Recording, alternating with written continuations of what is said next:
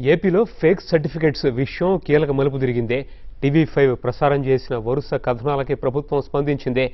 నకిలీ సర్టిఫికేట్స్ని అడ్డుపెట్టుకుని ప్రభుత్వ శాఖల్లో పాతుకుపోయిన వాళ్ళపై చర్యలకు సిద్ధమైందే.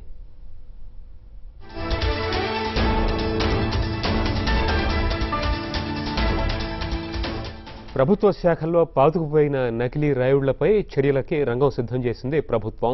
డీమ్డ్ వర్సిటీల్లో దూర విద్య ద్వారా పట్టాలు పొందిన ఉద్యోగుల్ని తొలగించాలని ఉన్నత విద్యాశాఖ ఆదేశాలు జారీ చేసింది. ఈ మేరకి జీవో వన్ ఫార్టీ త్రీని విడుదల చేసింది. దూర విద్య ద్వారా పొందిన ఇంజనీరింగ్ పట్టాల్ని గతేడాది సుప్రీంకోర్టు రద్దు చేసింది. నకిలీ రాయుళ్ళపై టీవీ ఫైవ్ వరుస కథనాలు ప్రసారం చేసింది. అయితే సుప్రీంకోర్టు తీర్పుని అమలు చేయాలని అన్ని శాఖల్ని ఇప్పుడు ఉన్నత విద్యాశాఖ ఆదేశించింది.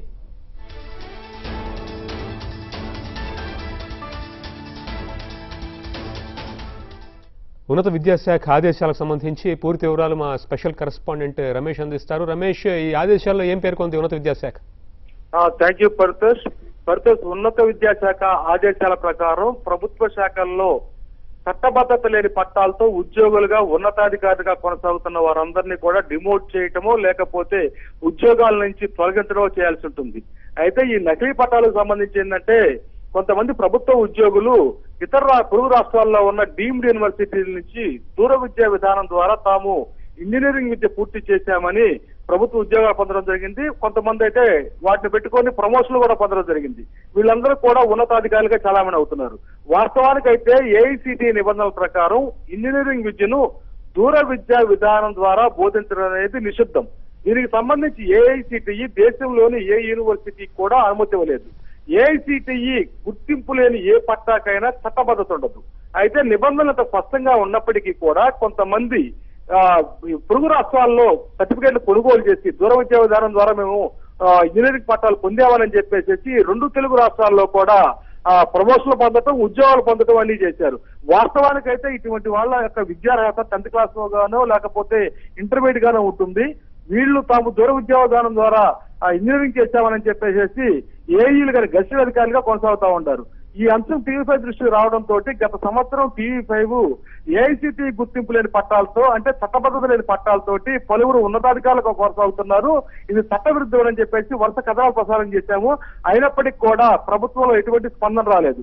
ఈ నేపథ్యంలో కొంతమంది ఈ గుర్తింపు లేని పట్టాలు ఏవైతే ఉన్నాయో ఏఐసిటి గుర్తింపు లేని పట్టాలు వాటికి వాటిపైన స్పష్టత ఇవ్వాల్సిందిగా సుప్రీంకోర్టు ఆదేశించారు. ఈ నేపథ్యంలో గత సంవత్సరం నవంబర్ మూడవ తారీఖున సుప్రీంకోర్టు ఒక చారిత్రాత్మక తీ- దూర విద్యా విధానం ద్వారా ఇంజనీరింగ్ విద్య బోధించడం అనేది చట్ట విరుద్ధము ఏఐసిటి గుర్తింపు లేని ఆ పట్టాలకు ఉద్యోగాలు ఇస్తారంటూ దానిపైన సిబిఐ విచారణ జరపాల్సిందిగా ఆదేశాలు జారీ చేయడంతో పాటు అటువంటి పట్టాలన్నింటినీ కూడా రద్దు చేస్తున్నట్టు ప్రకటించింది. వెంటనే ప్రభుత్వ శాఖల్లో ఉన్న అటువంటి పట్టాలు పొందిన ఉద్యోగ పట్టాలతోటి ఉద్యోగాలు పొందిన వారందరినీ కూడా తొలగించడమో డిమోట్ చేయడమో చేయాల్సిందిగా కూడా ఆదేశాలు ఇచ్చింది. సుప్రీంకోర్టు తీర్పు ఇచ్చి ఇప్పటికి తొమ్మిది నెలలు అవుతుంది. అయినప్పటికీ కూడా ఈ నకీ ఎవరైతే ఉన్నారో వాళ్ళు తమ పరపతి ఉపయోగించి ఇప్పటికీ కూడా ప్రభుత్వ ఉద్యోగులు కొనసా- కొనసాగుతా ఉంటారు ఈ నేపథ్యంలో పది రోజుల క్రితం ఓ న్యాయవాది ఏపీలోని అన్ని ప్రభుత్వ శాఖలకు సమాచార హక్కు చట్టం ద్వారా ఒక వివరణ కోరారు. ఆ వివరణ ప్రకారం సుప్రీంకోర్టు తీర్పుని ఎందుకు అమలు చేయలేకపోతున్నారు? దానికి ఉన్న అడ్డంకులు ఏంటని చెప్పేసి అన్ని ప్రభుత్వ విభాగాల అధిపతులకు ఆ, సమాచార హక్కు హక్కు చట్టం ద్వారా వివరణ కోరడం జరిగింది. ఈ నేపథ్యంలో అప్రమత్తమైన ఉన్న ఉన్నత విద్యాశాఖ సుప్రీంకోర్టు తీర్పును కోర్టు చేస్తూ సుప్రీంకోర్టు తీర్పు ప్రకారము వీళ్ళందరినీ కూడా రిమోట్ చేయటమో ఉద్యోగాలను తొలగించడమో చేయాలి. తక్షణం దానిపైన చర్యలు తీసుకోవాలని చెప్పేసి ఆదేశాలు జారీ చేస్తూ నూట నలభై మూడు జీవోని విడుదల చేశారు. ఈ జీవో కారణంగా వందలాది మంది రిమోట్ కావటం ఉద్యోగాలు కోల్పోవడం జరుగుతుంది. ఈ మేరకు సక్రమంగా విద్య అభ్యసించిన వారికి ఉద్యోగాలు వచ్చే అవకాశం కనిపిస్తుంది Paritosh. Right thank you Ramesh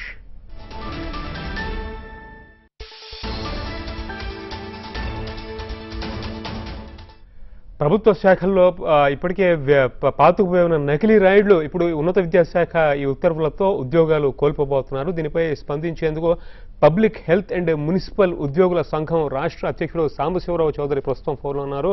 Sambasivarao గారు ఇక మీదటైనా రిక్రూట్మెంట్లో పూర్తిగా పారదర్శకత అలాగే గట్టిగా జరుగుతాయంటారా నియామకాలు?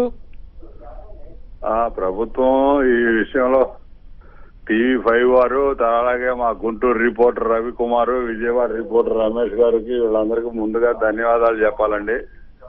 దీన్ని ఇయర్స్ టుగెదర్ చెప్పండి. వీళ్ళంతా చేసిన కృషికి మేము మా ఉద్యోగ సంఘాల తరఫున నేను ధన్యవాదాలు తెలుపుకుంటున్నాం ముందుగా. అట్లాగే మన గౌరవ ముఖ్యమంత్రి గారు అలాగే మన విద్యాశాఖ మార్చులు గంటా శ్రీనివాసరావు గారు వీళ్ళంతా కూడా బాగా క్షుణ్ణంగా పరిశీలించిన మీదట జీవో ఇచ్చారు. ఇది హర్షించదగ్గ విషయం. అట్లాగే రేపు రాబోయే రోజుల్లో కూడా ఇలాంటి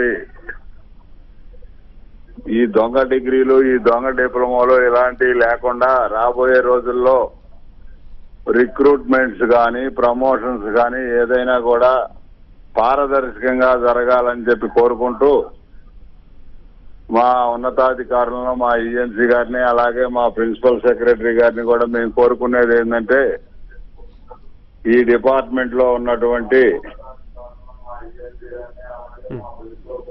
ఉన్నతాధికారులను అందరినీ కోరుకునేది ఏమంటే ఆ జీవోని ఎంత త్వరగా ఇంప్లిమెంట్ చేసి అంత త్వరగా న్యాయం చేయమని చెప్పి ఇది ఈ దొంగ నకిలీ రాయిల వల్ల నష్టపోయినటువంటి ఎంప్లాయీస్ అందరికి కూడా మళ్ళీ రివైజ్డ్ సీనియారిటీస్ అన్ని తయారు చేసి వీళ్ళందరినీ కూడా వెనక్కి పంపించవలసిందిగా మీ టీవీ ఫైవ్ ద్వారా మా అధికారులను మరి ఒకసారి కోరుకొంటున్నాను రైట్ థ్యాంక్ యూ సాంబశివరావు గారు.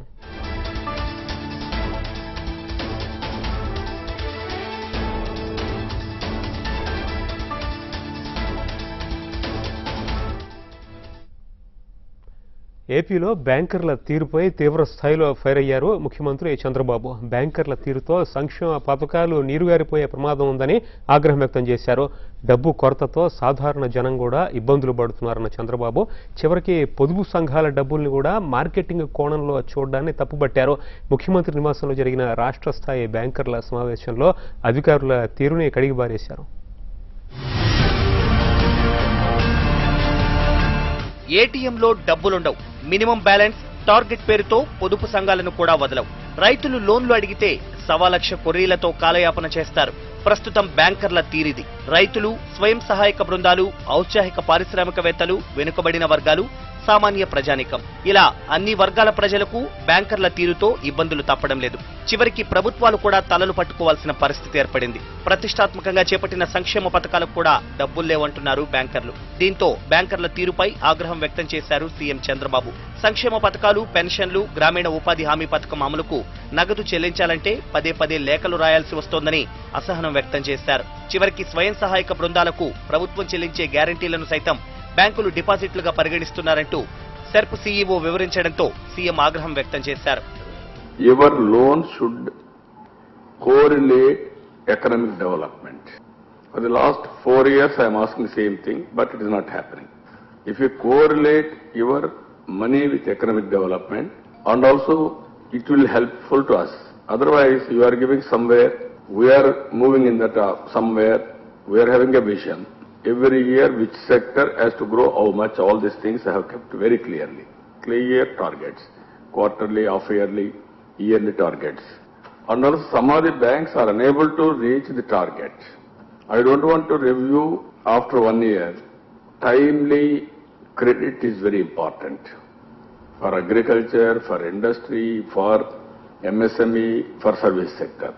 రాష్ట్ర ప్రభుత్వం అన్ని వర్గాలను ఆర్థికంగా సామాజికంగా అభివృద్ధి చేసేందుకు ఏర్పాటు చేసిన ఫెడరేషన్లు కార్పొరేషన్లు పరిశ్రమల విభాగం సైతం బ్యాంకర్ల సహాయ నిరాకరణతో చతికిలబడిన వైనాన్ని అధికారులు గణాంకాలతో వివరించారు. వ్యవసాయ రంగానికి ఉదారంగా రుణాలివ్వాలని చంద్రబాబు బ్యాంకర్లకు సూచించారు. ప్రతి నెల డబ్బు కోసం ఆర్బీఐను అడగాల్సి రావడం చెల్లింపుల కోసం నగదు వెతుక్కోవాల్సి రావడంపై అసంతృప్తి వ్యక్తం చేశారు. నోట్ల రద్దు పీఎన్బీ స్కామ్కు తోడు రెండు లక్షలకు మించిన డిపాజిట్లను జాతీయం చేస్తారనే పుకార్లతో ప్రజలకు బ్యాంకులపై నమ్మకం పోతోందని అన్నారు. I'm telling you, it is a disaster for the bankers. All banks will become non-performing assets. They have to close afterwards. Nobody in India will deposit in banks. It is a sentiment. I worked hard, I am spending, I am having money. Is it not the responsibility of the regulator? Is it not the responsibility of sovereign powers to protect? How can we escape our, our duties? In my state, any crime will take. I am not going to tolerate. Either that is my success or my failure. Even demonetization after that, there is a cash crunch. People, there is no, even today ATMs are not working. And at the same time, Even banks, people are feeling that pinch. Even today, I have to, every month, I have to telephone to you to give cash for our welfare programs, that is especially pensions. Even agency area, after doing the work under Narega, they don't have money to disperse. Every month we are monitoring. This is another problem. Because of that bill, if you deposit, you have to clarify to the people also, if you deposit, bank will collapse.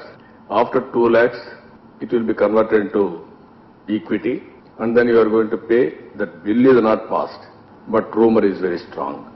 ఇప్పటికీ పూర్తి స్థాయిలో నగదు లభ్యత లేక ప్రజలు ఇబ్బంది పడుతుండడాన్ని తప్పుపట్టారు. రైతు రుణాల్లో కొంత భాగాన్ని బ్యాంకర్లే అట్టిపెట్టుకోవడాన్ని తప్పుపట్టిన బాబు రాష్ట్ర ప్రణాళిక శాఖ ఆర్థిక శాఖ వ్యవసాయ సంక్షేమ పరిశ్రమల శాఖ అధికారులు ఆర్బీఐ లీడ్ బ్యాంక్ ఎస్ఎల్బీసీ అధికారులతో సమావేశం నిర్వహించి లోటుపాట్లను సవరించాలని ఆదేశించారు.